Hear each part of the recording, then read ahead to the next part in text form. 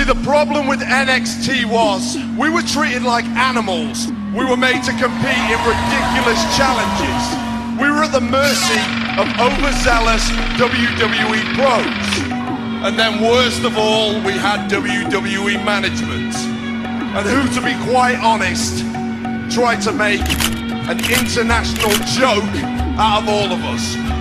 Jokes were meant to be funny, and I didn't see anyone laughing after Raw last week.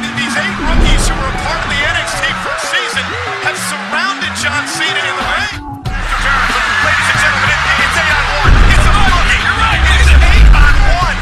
As Cena's getting a pack of lions. These men could be the future of this company.